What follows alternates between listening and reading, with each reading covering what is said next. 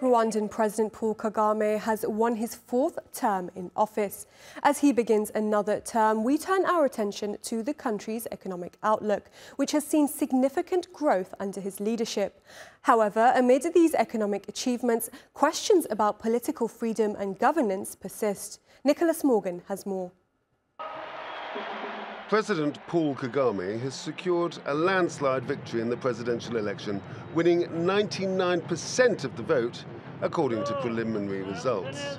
Kagame, who has been in power in various capacities since 1994, cast his vote in Kigali, reaffirming his commitment to leading Rwanda towards continued prosperity. Kagame's government has implemented numerous economic policies aimed at transforming Rwanda into a hub of economic activity in East Africa. The economy witnessed a significant growth rate of 9.7% in the first quarter of 2024, driven by robust performances in the industry and service sectors.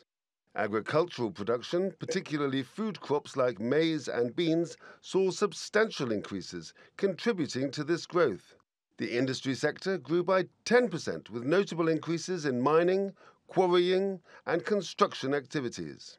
The service sector expanded by 11%, fueled by gains in wholesale and retail trade, transportation, and telecommunications. Rwanda's economic resurgence is evident, yet criticisms persist. Despite the economic successes, Kagame faces accusations of stifling dissent and governing with a heavy hand. Critics argue that the political landscape remains tightly controlled, with several vocal opponents barred from running in the election. International observers were present to monitor the elections, but concerns about political freedoms continue to surface.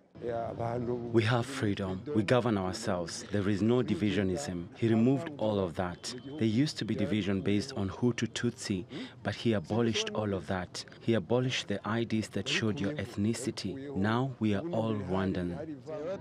Personally, I feel this is a celebration because this is what I wanted. I wanted him to win. There is absolutely no problem with the votes he got. Personally, I'm so happy. My heart is full of joy. There is so much he has achieved that ensured he got these votes. Kagame's administration continues to be credited for Rwanda's dramatic economic revival and maintaining internal peace since the 1994 genocide. As Rwanda moves forward, the focus will remain on balancing economic growth with addressing the concerns of political freedoms and human rights. Nicholas Morgan, TRT World. Let's bring in Ken Gichinga, Chief Economist at Mentoria Economics. He joins us now from Kenya's capital, Nairobi. Great to have you with us. Now, this is President Kagame's fourth term. How have his economic policies contributed to Rwanda's impressive 9.7% growth in the first quarter of this year?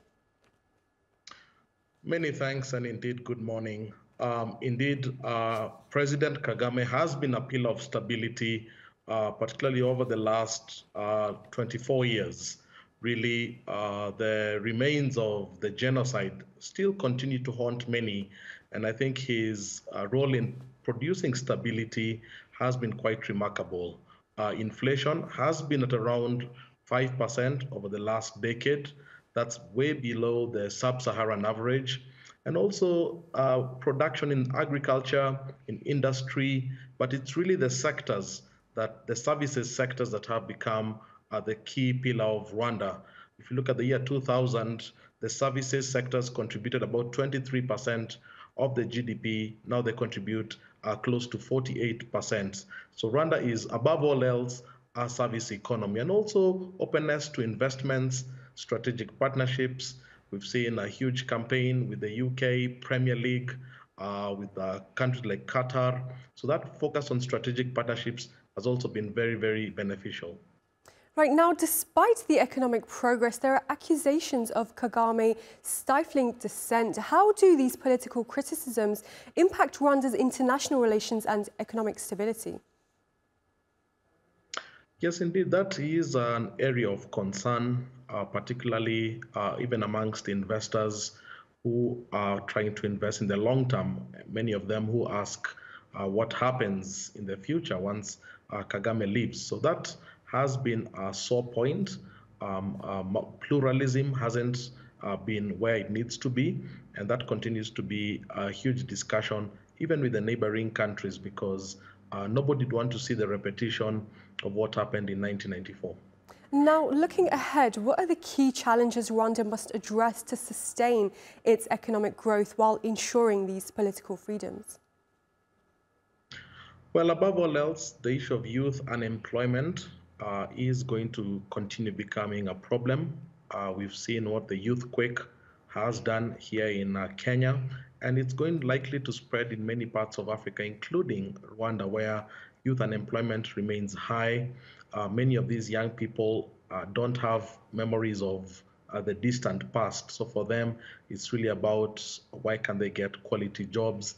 And once they begin agitating, it might uh, end up with uh, what you're saying uh, in countries such as Kenya. So it, it's definitely a time to start addressing uh, youth unemployment, uh, really, particularly sectors that can absorb a lot of youth to avoid any form of disturbance. Right, and you also touched on uh, relations with the UK. How has this immigration policy that has now been cancelled by uh, Keir Starmer impacted uh, the Rwandan economy? Well, that had been a big talking point. Um, obviously, the Labour Party in the UK uh, had adverse views on that policy and it, it has been shelved. Uh, but I think from Rwanda's perspective, uh, its association uh, with big powers in the West uh, will continue. As I said earlier, we've seen uh, its ability to attract uh, investments from uh, the UK Premier League and also the NBA from the United States. So I think they'll continue pushing for multinational presence in Rwanda to give it a higher uh, stage on the platform. We've seen companies like VW set, set up manufacturing bases in Rwanda. So I think that will continue uh, so that Rwanda really continues to live up to uh, what they call uh, the Switzerland of Africa. Right, Ken Gichinga there in Nairobi. Great to have your analysis.